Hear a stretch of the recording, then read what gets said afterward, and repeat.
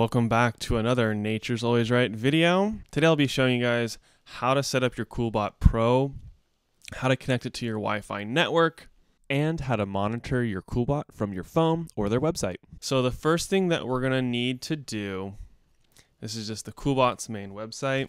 I'm following the instructions that they give you when you buy your CoolBot. So we're gonna go to cb.storecold.com. We need to create a new password and all that. So let me do this. I'm just going to sign up real quickly here for the monthly. Okay, and now we're all subscribed. Okay, so let's set up the Wi-Fi. So before I connect anything, I'm just going to hook up all of the sensors. This is what they show in their instructional video. So the, the room and the fins are the two temperature sensors. This black with the red knob is the heater. Let's connect the power.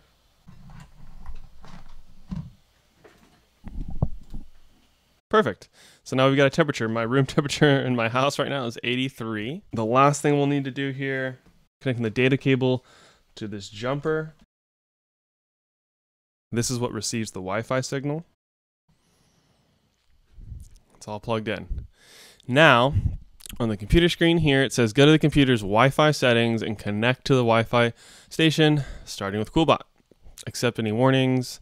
When you see E1 flashing on the CoolBot's display, press next. You'll click on CoolBot.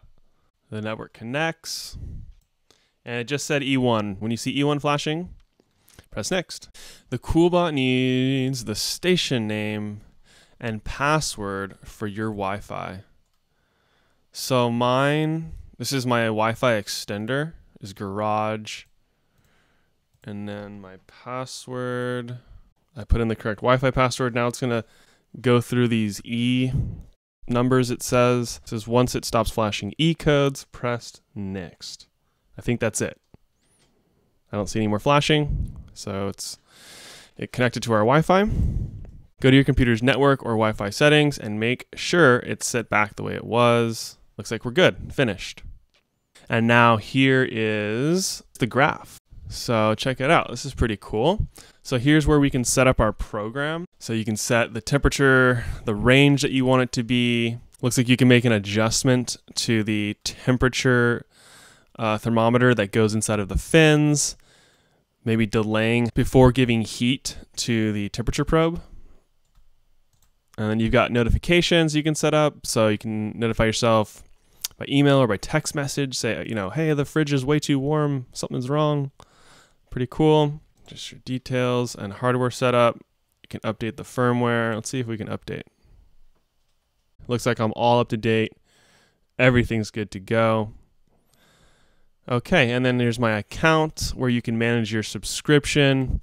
You can change to Celsius or Fahrenheit. Oh, looks like you can even request support. Okay, so they just give you a way if you have any problems, here's all their info to contact Coolbot to get it fixed. Okay, that's it, guys. Now I'm going to go and ins install this on my fridge. Remember that the jumper gets installed outside of the fridge. It is not weatherproofed like this box is. Alright guys, so here I am on top of the fridge, and I just have the Wi-Fi module right on top of here, and I'm able to get a really good Wi-Fi signal, so I'm not going to put this anywhere special, I'm just going to set it and leave it here. Coolbot does provide you with a ton of cable here, so I could route this thing over to the other side of the garage to try to get a better signal, but luckily that's not going to be necessary for me, so this will be just great. Okay, and now that the Wi-Fi network is clicked on, we're now getting active updates of the current temperature. So here you can see that the temperature is at uh, 53. You can see this is my range from 33 to 45. 36 is my temperature that I want it set for. So if we go into the devices area, you know, it shows us our CoolBot is online. Just before it was turned on, it said offline. Um, here's our setting. So this is where we can go in. I can set my temperature I want, the range, all the adjustments I already showed you. Um, so then this is all live. And I'm going to let the CoolBot cool down the refrigerator so you can see how it works, and you can see the graphs and everything. So there is no official app for Coolbot, and it's not really necessary at all. So you just access your account via their website. So you just go to cb.storecold.com, you'll enter in your credentials, and then you're able to see the live status of your Coolbot. And it's very easy to use on your phone or on the computer.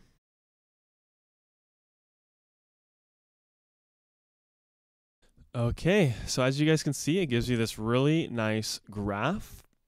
So it started up here. So it looks like in about 40 minutes, it's gone from room temperature down to about 36, 37, 38, where my temperature is set. I only use my cooler uh, one or two days a week, so I'm not running it consistently.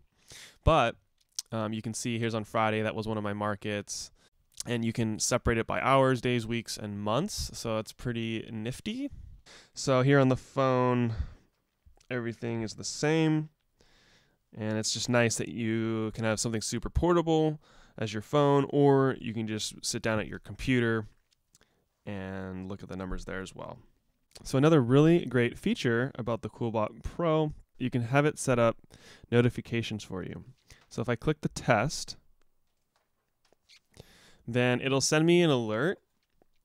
There we go. Now it sent a text message to my phone telling me that it's too hot. And it'll even send a message to your email as well that looks like this. So it says Coolbot is offline.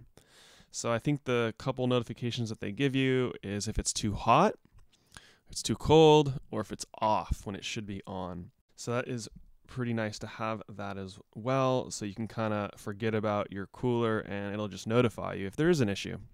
If you'd like your own CoolBot, I have a $20 off coupon down in the video description for you. Just click that link and it'll take you to the CoolBot site and that'll give you $20 off for whenever you'd like to buy your own. All right, guys, so that's how you set up the Wi Fi for your CoolBot Pro so that you can monitor everything.